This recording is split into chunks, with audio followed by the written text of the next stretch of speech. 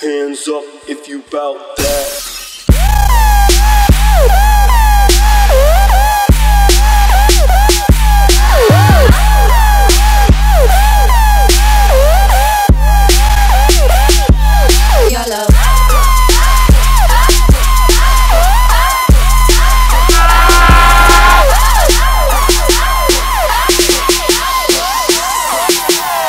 Alarms go off when I enter the building.